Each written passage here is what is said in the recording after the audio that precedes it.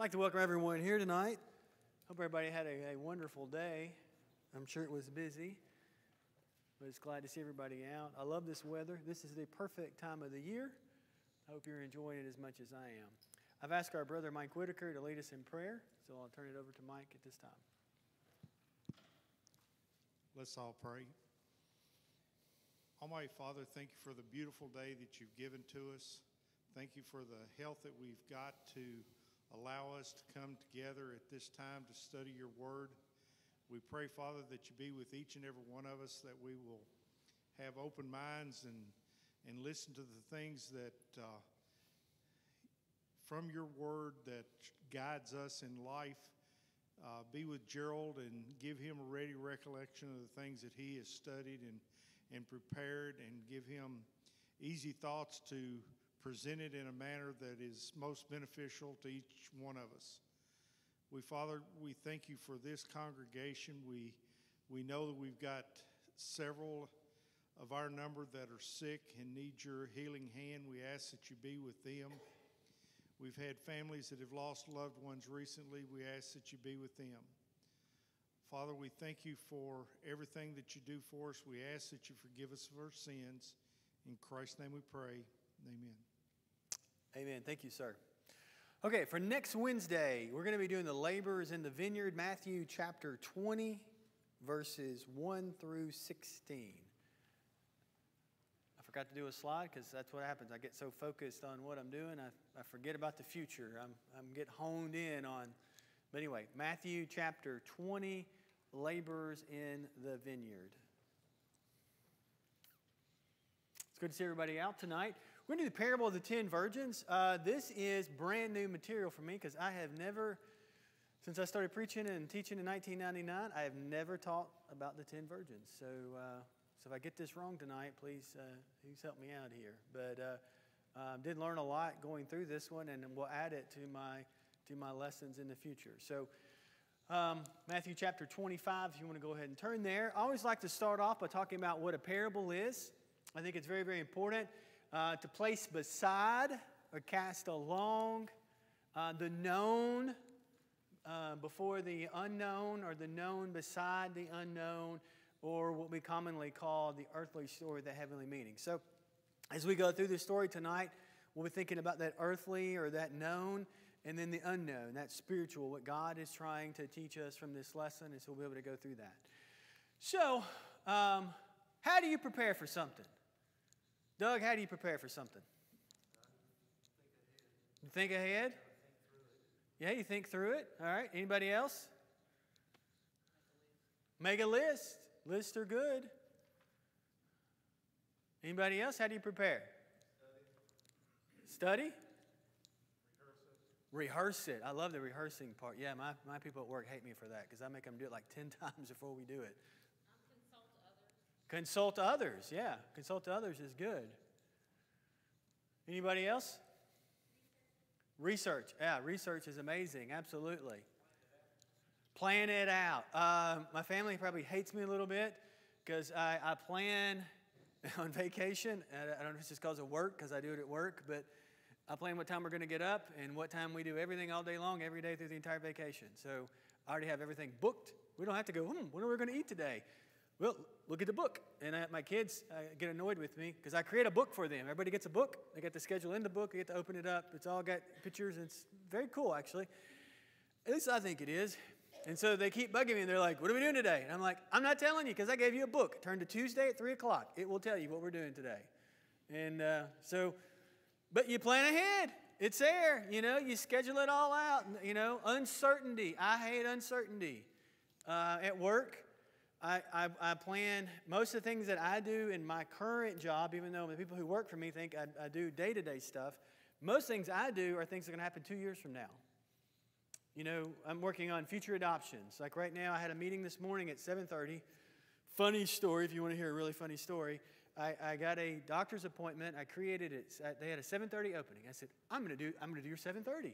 I said, I will not have a conference call at 7.30 in the morning. I will not have a work schedule. I will not have anything. That'd be a great time to do 7.30.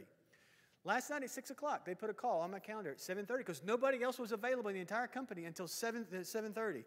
So I am literally laying on this table, and they're doing a cut right here on me, and no shirt on with my headphone in, and I'm, I'm doing a call, a national call. Anyway, nobody knows it but the doctor, and he just paid no attention to me. So, anyway, planning things. I'm surprised he let me do it. He didn't really give a rip. So, maybe he thought it kept me calm. Anyway, so preparing, having things planned out. I mean, you know, you do it. Now, there are people, and you won't believe this, that fly by the seat of their pants. Kim, do you ever get any customers who call and say, School started yesterday and I haven't ordered my books yet? Yeah, yeah, yeah. Can I get a haircut? There you go. Can I get out and leave for vacation? I believe that 90% of all Americans procrastinate because I deal with them, especially teachers. I only deal with education people, but oh, the calls that we get the first three weeks of school. I'm like, you had all summer to order your workbooks and to order. You knew school was starting on August the 8th, but they call on August the 7th and want it overnighted until we give them the overnight price of a thousand books. And then they're like, oh, no, no, overnight, overnight. Two day is fine, you know, three days, whatever. So, being prepared. 1999, I love 1999 because I could say I'm going to party like 1999. We could do uh, the Prince song, which, by the way, uh, is one of our elders' favorite singers. I'm not going to tell you which one. I'll let you figure that out on your own. But you can say, what are you going to do? I'm going to party like it's 1999. Does anybody remember the theme of 1999? Don't tell me it's just me. Y2K, the end of the world. And where I grew up in Lawrenceburg, Tennessee, was uh, what I call a bunch of country people. You may refer to them as a bunch of rednecks. Um, they were doing all kinds of crazy stuff. Man, it was awesome. Man, they were they were buying these food things, which I do have a couple of these, by the way. I don't have enough for all of you if something happens, but I have enough for a couple of weeks. You know, there's food containers. They were, they were digging holes in the ground. I mean, we got, I, where I live, there's probably 500 bomb shelters in the ground that are not being used right now. So if you need a bomb shelter, Lawrence County, Tennessee, there's a bunch of them there. They're preparing the food. You saw these people, uh, gas masks and suits, and you know, it's going to click to 2000 and everything is going to go nuts. And I kind of believed it a little bit. I think we all kind of like, yeah, I don't know. I don't know, maybe. And so you saw that you know, they even came up this show, Doomsday Preppers, and we, we, we joke about people are like, oh, are you a prepper? Are you a prepper? I've been accused of being a prepper, by the way. I don't really know why, but, uh, you know, you doomsday prepping, the bomb shelters, or the little holes in the ground, the shelters, and some of these are very nice, by the way. That's a picture of one of them. Uh, you know, they had their own homes. I mean, they got it all done, locked and ready to go. They're preparing. They thought the end of the world was coming and they were preparing uh, for that. So, preparation, I think we'd all agree, is key. Procrastination, not so good, right? It's interesting that so many times in our religious thinking, procrastination is what we, or most people, tend to go with, and preparedness is like, eh, I'll put it off till tomorrow. I'll put that off till tomorrow. Tomorrow, next week, next month, right? And so you have this whole thing that you do. And so that gets us to this parable. Now, you're probably saying, well, that's the stupidest statement, Gerald. This is Jesus' parable. Well, duh. Who else? Whose parable would it be?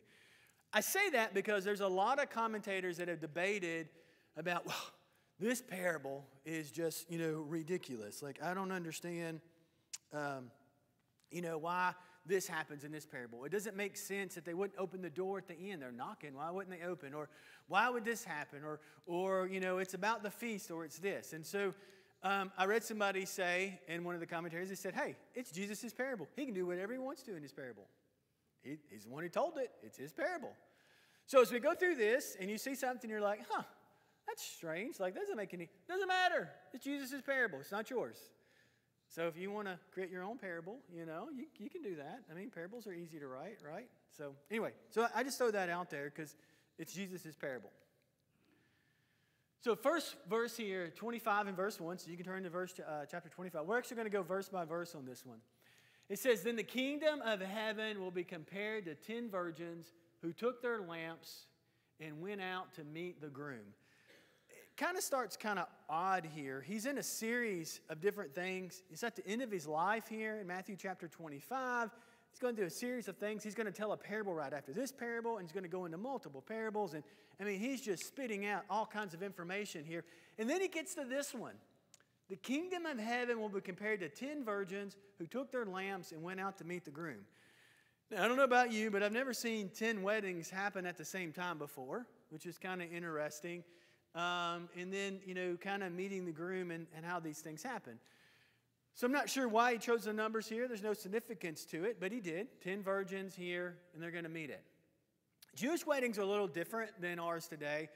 Um, they kind of went through a betrothal process, um, and you would be uh, basically being engaged was being married. And you're saying, well, how is that possible? Well, I don't really understand Jewish customs completely.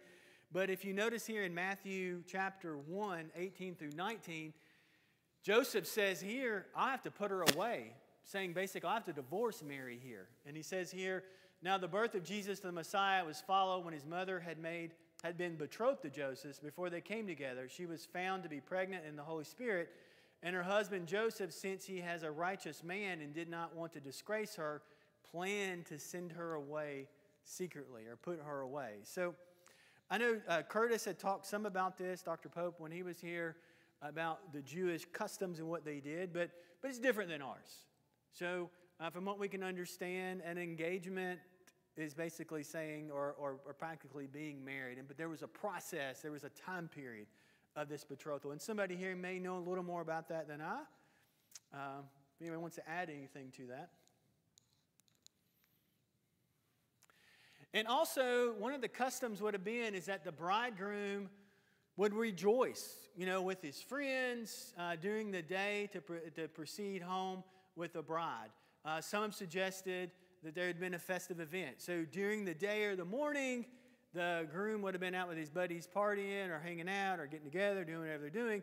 And the wedding would have taken place at night. And that would have been the custom. So they would have come back. The family would have been there the, the, uh, the bridesmaid or the bride would have waited and the groom would have come. And then when he got there, then that would have finalized or got into the, the wedding festivities for the night. And so um, there's a couple of passages here that, were, that are referenced for this. I think they're loose passages on this. I mean, I wouldn't use them as concrete passages to say this, but it does talk a little bit about the events here in Psalms and Matthew as well. And so, so here this custom, if, if it's the bride, the, the groom is out all day and the bride is waiting, um, you can kind of see this whole process rolling out uh, in this. And so, five of them were foolish, and five of them were prudent. Um, I found that immediately uh, interesting here that, that Jesus is like, hey, there, there are five that weren't too bright, they were foolish, and there were five that were smart in what they did. And uh, and, and so I kind of throw this out here to you. Uh, can this be debated? Who was foolish and who was prudent?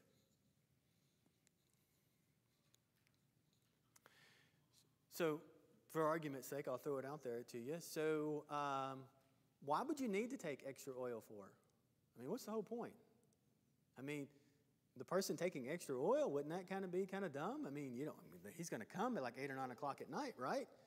I mean, can you imagine the ones who had all the oil probably being made fun of for taking, why are you taking all this oil? You're a prepper. You're, you're a planner. You're, you're going a little crazy here. What, what are you doing? And the other ones are like, hey, I'm taking just enough. You know, I got other things to pack. I got my wedding dress. I got my veil. I got, you know, all my shoes. I don't have time to take some extra oil. And so debating which ones are foolish, depending on at the time of the event, you may, you may think that. Um, and uh, so it's kind of interesting here on that. For instance, as a Christian, oh, you go to, why do you go to church so much? Why do you study your Bible so much? Well, you know, the kingdom is at hand. Oh, you're young. You don't need to worry about that. I mean, you know, nothing's going to happen. You know, you don't need to be so prepared. Why are you so prepared all the time for? You know, nothing's going to happen this week or tonight or next month. And so you can see how people may in our religious life look at us as foolish or prudent, depending on the circumstance that they're in. Could excuses be made for the foolish girls? So, can you make an excuse for them? Have I already made them for them? What would have been a reason not to take any more oil, you think, besides what I've talked about? Any other reasons?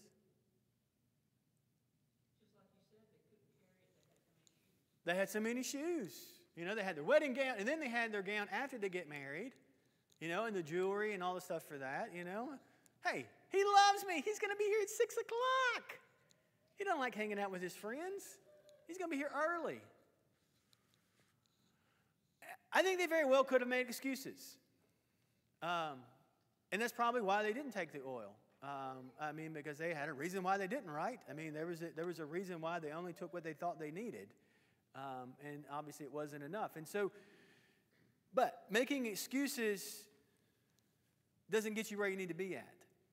And so many times we make excuses about why we can or can't do something, but in, in the end, we should have done what was right and been prepared for whatever it was we were in, in our spiritual life doing the right things. And so we have to be careful of trying to do just enough or, or, or doing, doing a little not enough and using that as an excuse. See, they thought they were doing just enough, and yet they weren't doing quite enough here. Absolutely, yes, sir. If you need a hundred bucks on vacation, take three hundred, right, Jim? Because the hundred will be gone for the first meal. No, I'm kidding. Yeah. For when the foolish took their lamps they did not take extra oil with them. And so Jesus points out that they were being foolish because they did not take any extra oil. They took just enough. They were doing the bare minimum. That's what he's saying here. They, they, took, they took what they thought they needed, uh, just enough. Not any extra, not any in abundance.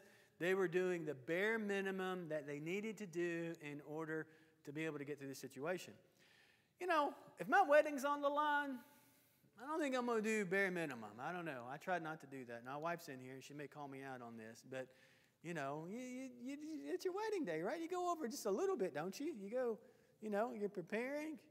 Uh, huh? And you might get locked out, yeah. Do we have any people that did just the bare minimum? Anybody in their weddings and got caught? Anybody? Alan, you didn't do that, did you? You don't seem like a minimalist there. It seems like you were a smart guy. All right, I'm gonna go ask your mother-in-law though, so I'll leave that leave that alone. Oh, you just they said be here. Don't bring anything. Just be here at six o'clock. okay, so they took their lamps. They did not take anything extra with them. So I want to point out that in Jesus' parable here, and I asked the question: Why would you take any extra oil, or for that matter, anything extra? He's going to come. You're going to get married. Jesus, what's the point here? Why do I need to take anything extra? I'm just going to do just enough.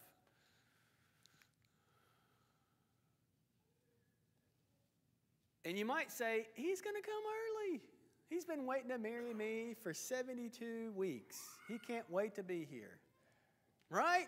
Right? He's been counting it down. He's going to be here at 3 o'clock. He's not going to come in at midnight. Right?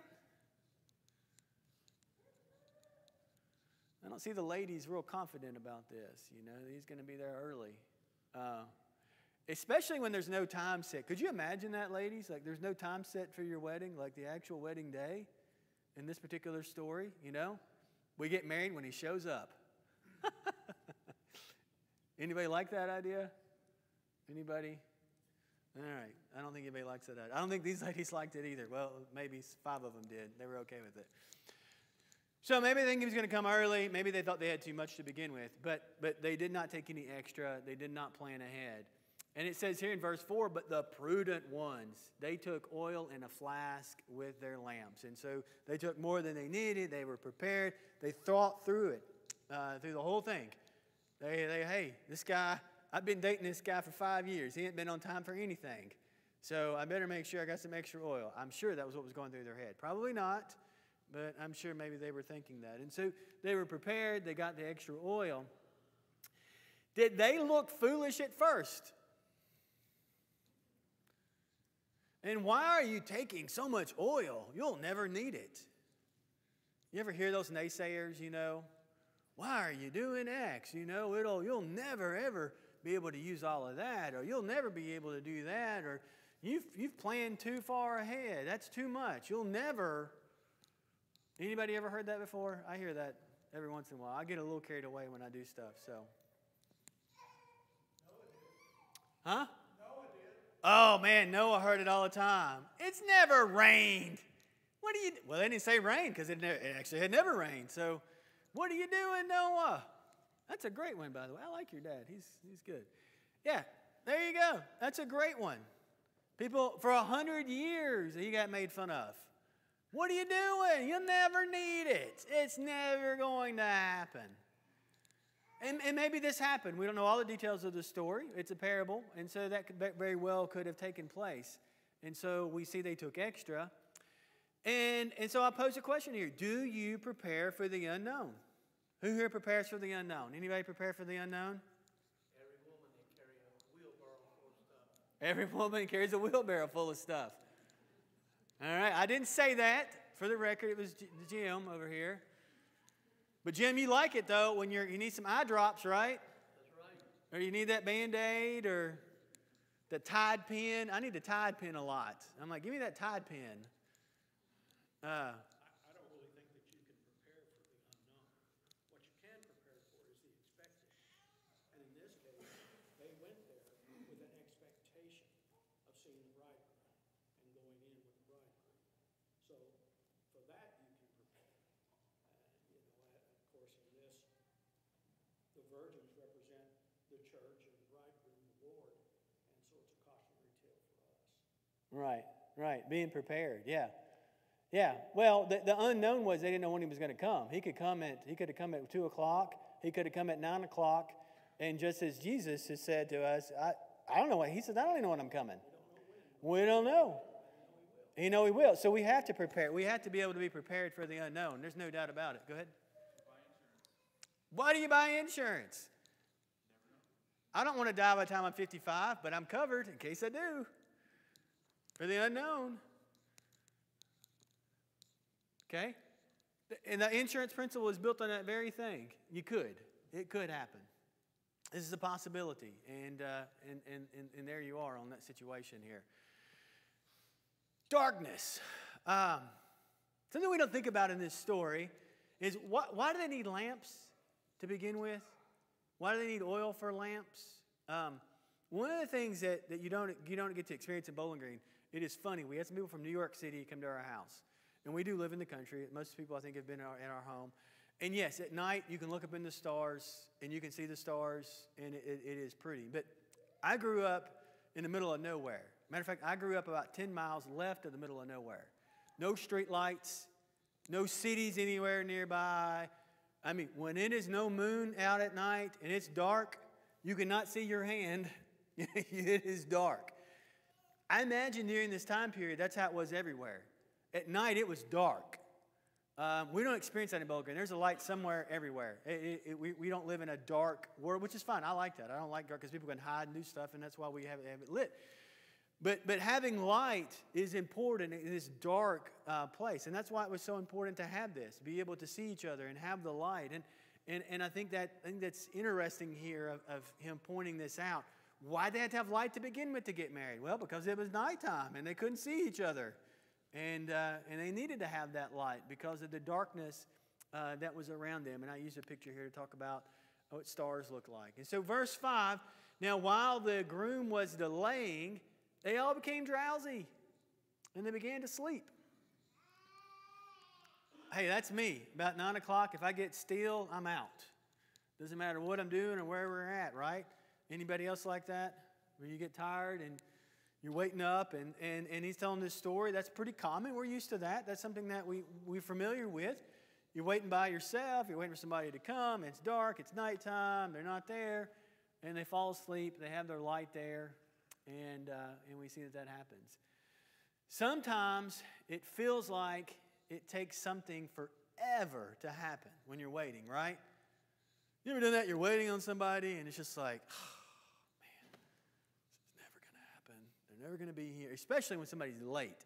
When they're late, you know, every minute is like six minutes, right? It's like, it's even longer. Like you can actually see the hands as they're moving. And, and I, talked about watching water boil.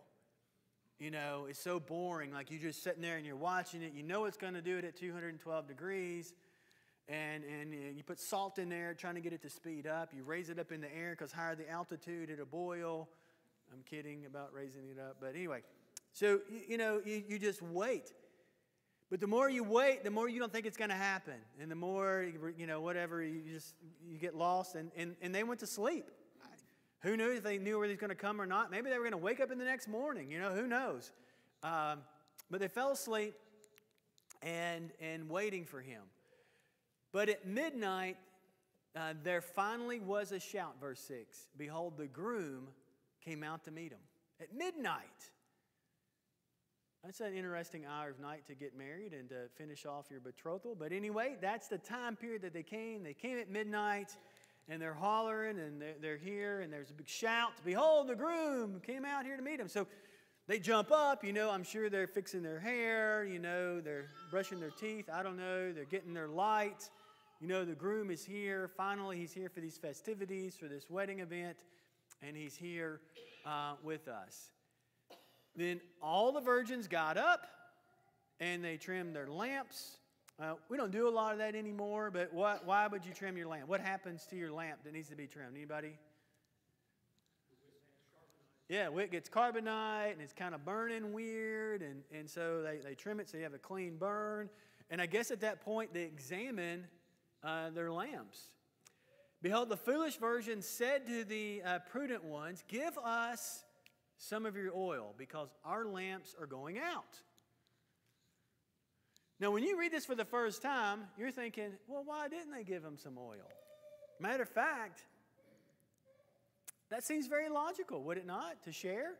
Isn't that a, isn't that a biblical principle? Isn't that a Christian principle? You got abundance of something to share it? Right? Shouldn't they have shared it? Yeah? Okay. They had enough? Okay. All right. However, the prudent ones answered, No, we're not going to give you any. There most certainly would not be enough, as you said, the abundance for us and you to go. Go instead to the merchants and buy some for yourselves. They say, Hey, we don't have enough. We're not giving you any. You got to go out you got to go buy some. Are the prudence virgins being selfish?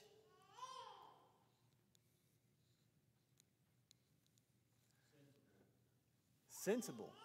Yeah. And, and, some may argue that. It's one of the things I read. Somebody said, well, they're just being selfish. Why didn't they help them out? I mean, all they cared about was themselves. But maybe what they have, they couldn't share. And uh, I think that is, uh, that is interesting. I'm going to read something to you about that. I want you to think about it. I want you to listen to what he said in this book. It's pretty amazing, and he says it better than I said it. This is uh, Paul Earnhart, his thoughts on that. And it blew my mind when I read it.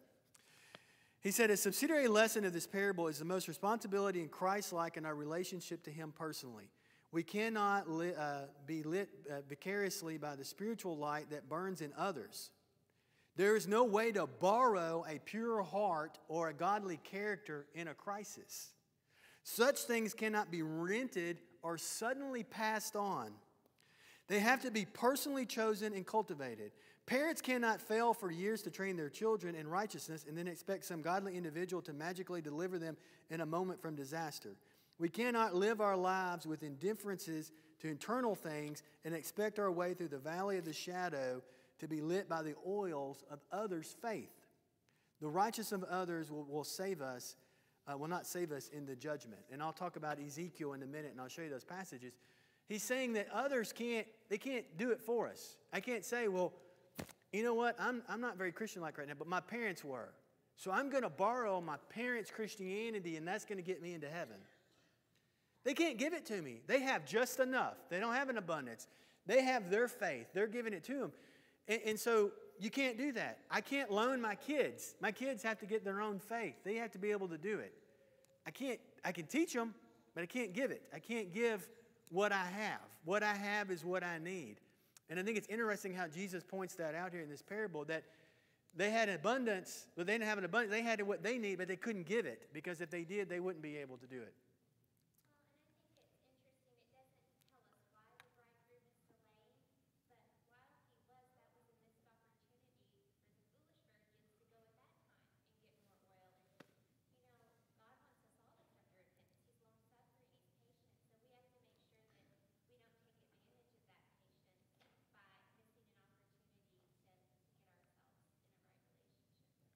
Yeah, extra time was given, and what'd they do? They slept right along with everybody else and waited to that very last minute, and they couldn't do anything about it. And, and, and that's, that's an interesting point. I think Paul did a great job. Verse 10 But while they were on their way to buy the oil, the groom came. And those uh, who were ready went in and him the wedding feast, and the door was shut. And so uh, they all went in, the five virgins who had the oil. The five foolish ones uh, obviously were out buying, and they did not. Yet later, the other virgins also came, saying, Lord, Lord, open up for us. And so, this is one of the things that people argue well, and if it was a real wedding, they would have let them in. They're not going to keep the bride from getting married. I mean, they're not going to, they're not going to prevent that. And so he was like, well, this parable is kind of, well, no, this is, this is Jesus' parable. And he's teaching a, a, a spiritual lesson here with this parable. The time came, and they weren't ready, and the door shut, and they weren't allowed to go in. Almost saved, but lost. Almost saved, but lost. The door had shut. And it says, But he answered truly and say to you, I do not know you. They're knocking. But he says, I don't know who you are. I, I don't know what's going on here. And he says, Be on alert then, because you do not know the day or the hour. And so, in this particular parable, Jesus is teaching us we don't know when the time of this coming back is going to be, but we have to be prepared. And if we're not prepared, um, we're going to have a problem. And so, here's the application. I did this kind of odd, so kind of kind of go along with me on this. I, I think it works. So, we must be prepared. I think everybody agrees with that, right? From this parable. We must be prepared. If we're not prepared, we're going to be in trouble. We must be prepared and ready at all times. Anybody disagree with that? Can you be prepared but ready some of the time? Part of the time? Or do you have to be ready all the time?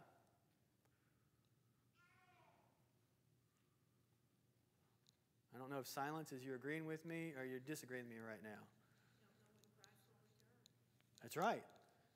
So, we, so we got to be ready all the time. Like it's, it's like an ongoing thing. It's not like, yeah, you know, I'm going to be ready between my 50s and my 70s and uh, maybe my 40s I'm going to take off and then my 20s and my 30s maybe I'll be on and, you know, I'll kind of mix it in there. Maybe Monday through Friday I'll be ready, but Saturday and Sunday I'm not ready. Is that how it works?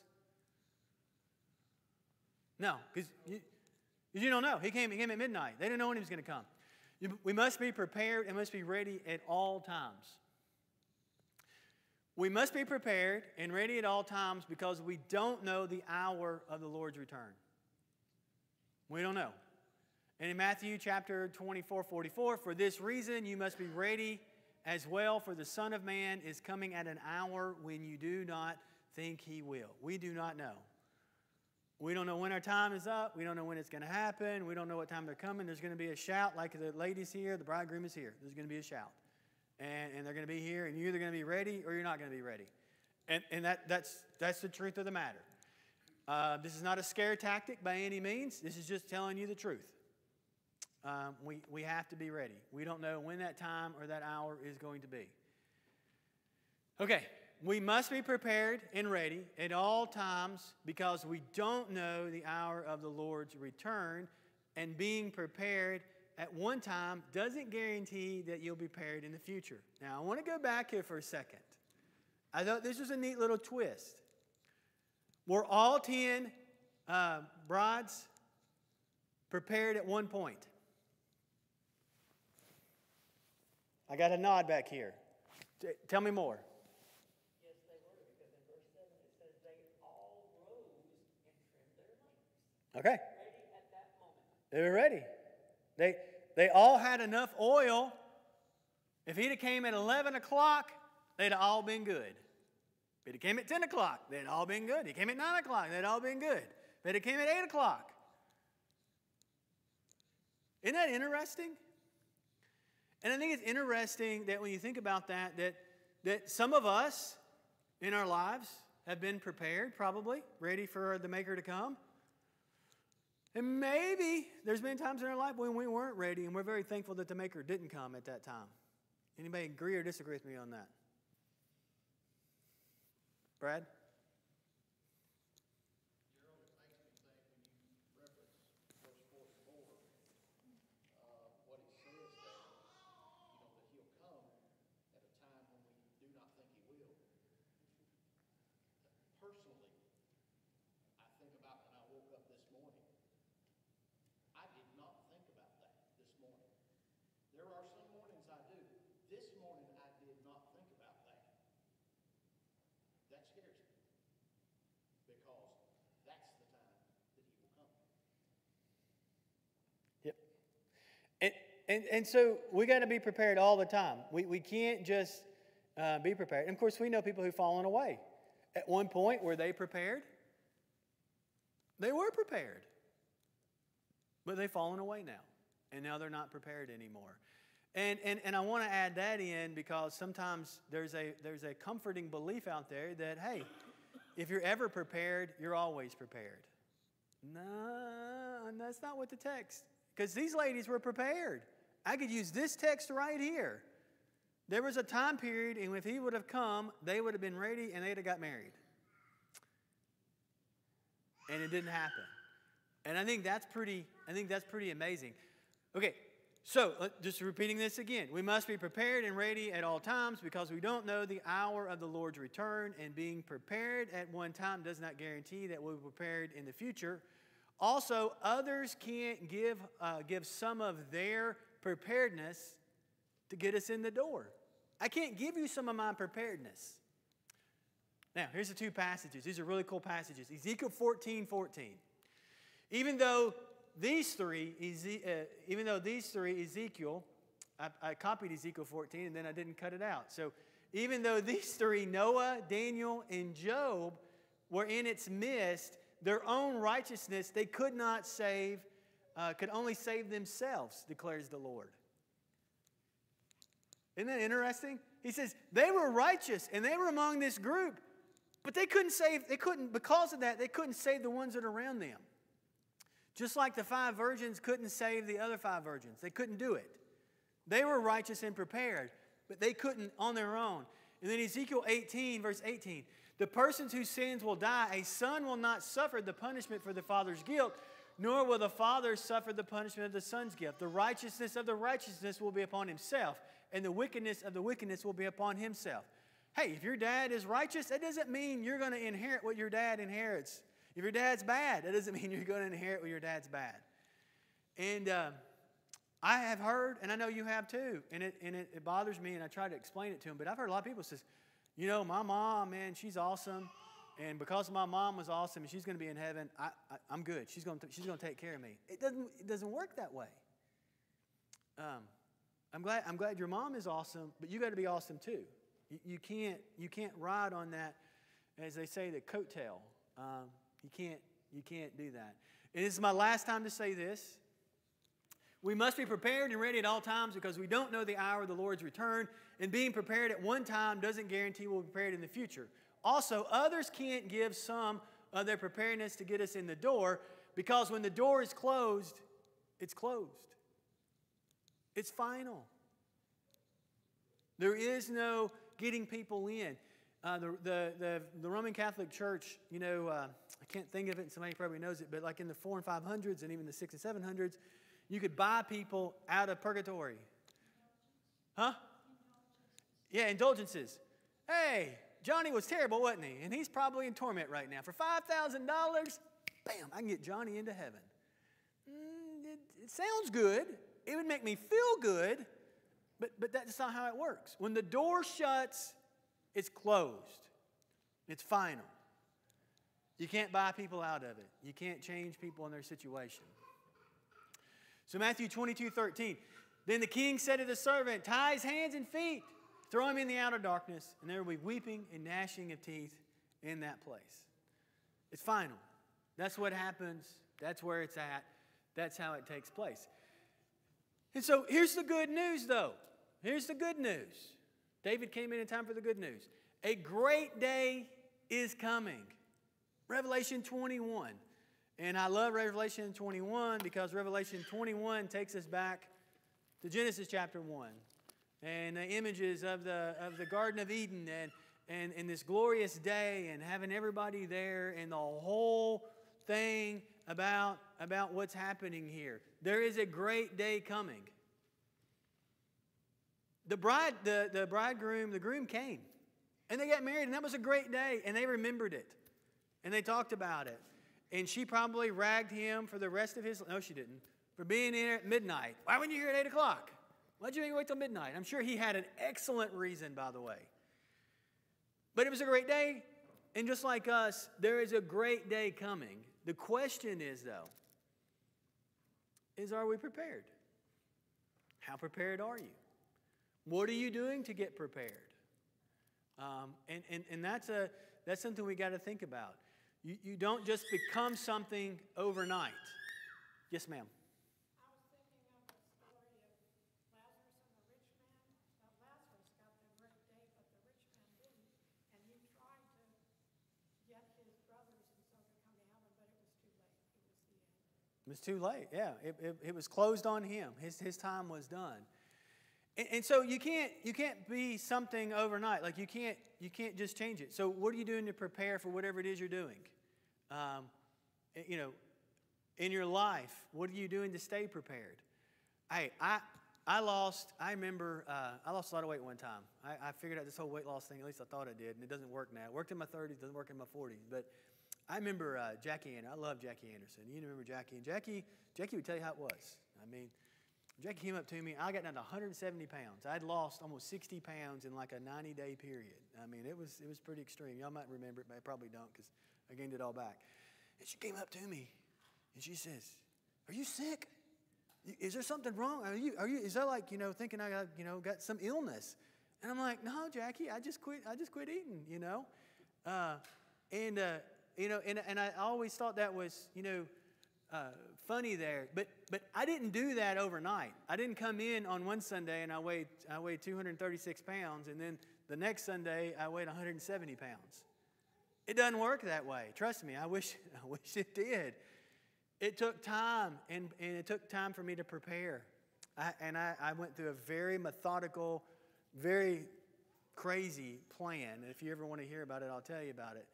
Um, but, but you had to prepare for that. And in our Christian walk, we have to be prepared every day. Because you know what happened when I quit doing what I was doing? I got back to like 210, 215, 220. Then I had to go watch the weight again. You had to do it. So, so there are things you have to change in what you do. So, any other comments? We've got a couple minutes on this particular parable. I don't know if there's an answer to this question, but verse 12 always makes me think about this. When he said that, uh, you know, I do not know you, you reference light and darkness and not being able to see your hand. I wonder if he didn't know them because he couldn't see them. I, I did, that's just something I wonder. I'm not trying to No. No.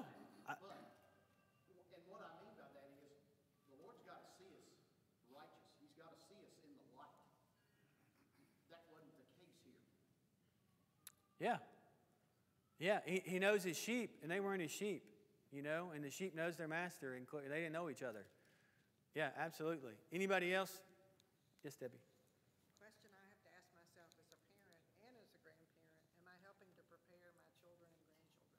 I mean, the most important thing we can do for them is prepare them for this. And we can prepare them for everything else in life, and if we neglect this, then we've missed everything for them.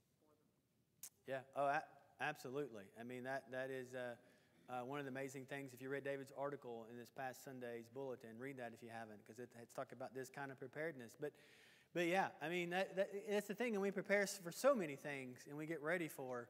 Uh, but did we get ready for this great day? So, okay, next Wednesday uh, we'll be doing the labors in the vineyard, Matthew chapter 20.